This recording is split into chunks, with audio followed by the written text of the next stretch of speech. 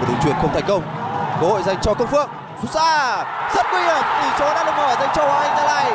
Ngay phút thứ tư của trận đấu. Cùng xem lại cú dứt điểm của công phượng rất khó chịu.